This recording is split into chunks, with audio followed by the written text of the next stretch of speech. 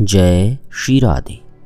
श्री चैतन्य चरितावली के इससे पूर्व के भाग में आपने महाप्रभु का दिव्योन्माद इसके विषय में कथा का श्रवण किया। अब गोवर्धन के भ्रम से चटक गिर की ओर गमन। चैतन्य स्तव कल्प वृक्ष में कहा गया है, समीपे नीलाद्रेश चटक गिरिराजस्य कलनादये, गोष्ठे गोवर्धन गिरिपतिम लोक तुमित है। वृजन्नस्मीत्युक्त्वा प्रमदयो गणः स्वेर्गौरांगो हृदय उदयन्मां मदयति। श्री रघुनाथ दास गोस्वामी कहते हैं, नीलाचल के निकट समुद्र की बालुका के चटक पर्वत को देखकर गोवर्धन के विरम से मैं गिरिराज गोवर्धन के दर्शन करूँगा, ऐसा कहकर महाप्रभु उस ओर दौड़ने लगे। अपने सभी विरक्त वैष्णवों से वेष्टित वही गौरांग हमारे हृदय में उदित होकर हमें पागल बना रहे हैं। महाप्रभु की अब प्राय तीन दशाएँ देखी जाती थी। अंतरदशा अर्ध बाह्य दशा और बाह्य दशा अंतरदशा में वे गोपी भाव से या राधा भाव से श्री कृष्ण के विरह में मिलन में भांति भांति के प्रलाप किया करते थे। अर्ध बाह्य दशा में अपने को कुछ कुछ समझने लगते और अब थोड़ी देर पहले जो कुछ देख रहे थे, उसे ही अपने अंतरंग भक्तों को सुनाते थे और उस भाव के बदलने के कारण पश्चाताप प्रकट करते हुए रुदन भी करते थे। बाह्य दशा में खूब अच्छी भली बातें करते थे और सभी भक्तों का यथा योग्य सत्कार करते, बड़ों को प्रणाम करते, छोटों की कुशल पूछते इस प्रकार उनकी तीन ही दशाएँ भक्तों को देखने में आती थी। तीसरी दशा में तो वे बहुत ही कम कभी कभी आते थे, नहीं तो सदा अंतदशा या अर्धबाह्य दशा में ही मग्न रहते थे। स्नान, शयन, भोजन और पुरुषोत्तम दर्शन, ये तो शरीर के स्वभाव अनुसार स्वतः ही संपन्न होते रहते थे। अर्धबाह्य दशा में भी इन कामों में कोई विघ्न नहीं होता था।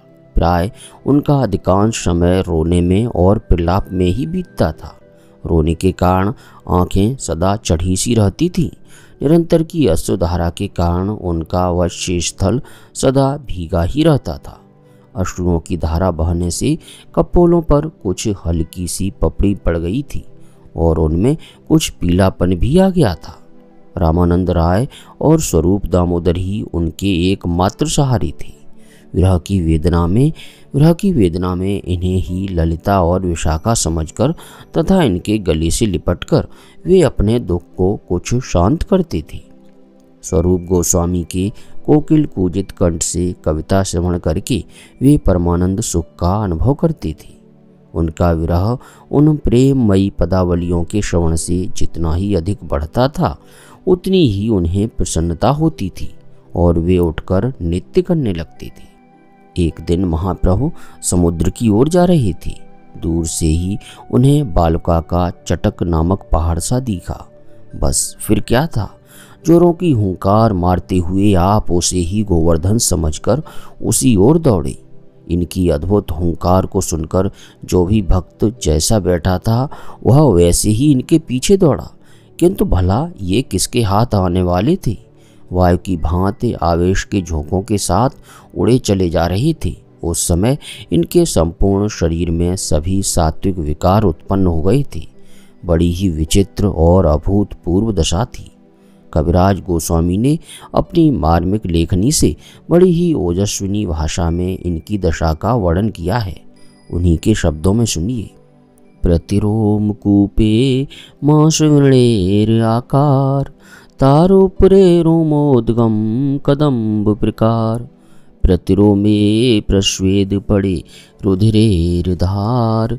कंठ घर घर नाहि वर्णेरोच्चार दुई नेत्रे भरे अश्रो बहे अपार।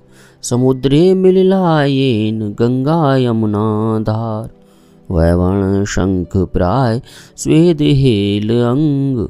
तवे कंप उठे येन समुद्री तरंग। अर्थात प्रत्येक रोमकूप मानो मांस का फोड़ा ही बन गया है। उनके ऊपर रोम ऐसे दिखते हैं जैसे कदम्ब की कलियाँ। प्रत्येक रोमकूप से रक्त की धार के समान पसीना बह रहा है। कंठ घर घर शब्द कर रहा है। एक भी वर्ण स्पष्ट सुनाई नहीं देता। दोनों नेत्रों में से अपार अश्रुओं की दो धाराएँ बह रही हैं। मानो गंगा जी और यमुना जी मिलने के लिए समुद्र की ओर जा रही हों।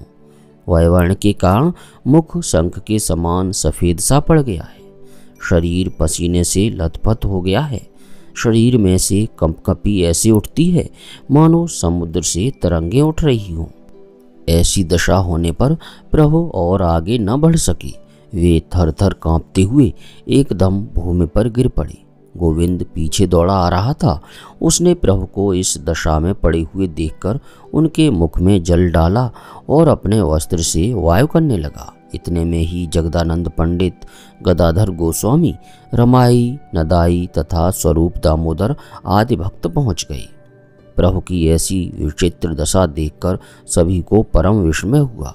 सभी प्रभु को चारों ओर से घेरकर उच्च स्वर से संकीर्तन करने लगे। अब प्रभु को कुछ कुछ होश आया। वे हुंकार मारकर उठ बैठे और अपने चारों ओर भूले से, भटके से, कुछ गंवाए से इधर उधर देखने लगे और स्वरूप गोस्वामी से रोते रोते कहने लगे, अरे, हमें यहाँ कौन ले आया? गोवर्धन पर से यहाँ हमें कौन उठा लाया? आहा, वह कैसी दिव्य छटा थी। गोवर्धन की नीरव निकुंज में नंदलाल ने अपनी वही वांस की वंशी बजाई।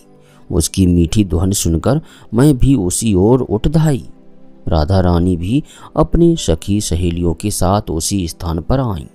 आहा, उस सांवरे की कैसी सुंदर मंद मुस्कान थी। उसकी हँसी में जादू था। सभी गोपिकाएँ अकीसी, जकीसी भूली सी भटकी सी उसी को लक्ष्य करके दौड़ी आ रही थी। सहसा वह सांवला अपनी सर्वश्रेष्ठ सखी श्री राधिका जी को साथ लेकर न जाने किधर चला गया। तब क्या हुआ कुछ पता नहीं। यह मुझे कौन उठा लाया? इतना कहकर प्रभु बड़े ही जोरों से, हा कृष्ण, हा प्राण वल्लभ, हा हृदय रमण कहकर जोरों से रुदन करने लगे। प्रभु की इस अद्भुत दशा का समाचार सुनकर श्री परमानंद जी पुरी और ब्रह्मानंद जी भारती भी दौड़े आए। अब प्रभु की एकदम बाह्य दशा हो गई थी। अतः उन्होंने श्रद्धापूर्वक इन दोनों पूज्य सन्यासियों को प्रणाम किया और संकोच के साथ कहने लगे, आपने क्यों कष्ट किया? व्यर्थ ही इतनी दूर आए। पुरी गोस्वामी ने हंसकर कहा, हम भी चले आए कि चलकर तुम्हारा नृत्य ही देखें। इतना सुनते ही प्रभु लज्जित से हो गए। भक्त वृंद महाप्रभु को साथ लेकर उनके निवास स्थान पर आए। इस भाग में इतना ही। अब प्रेम पूर्वक सच्चे हृदय से महाप्रभु जी का और सभी प्यारे प्यारे भक्तों का स्मरण करते हुए गदगद कंठ के साथ बोलिए, हरे कृष्ण हरे कृष्ण कृष्ण कृष्ण, हरे हरे हरे राम हरे राम राम राम, हरे हरे, जय जय, श्री राधे।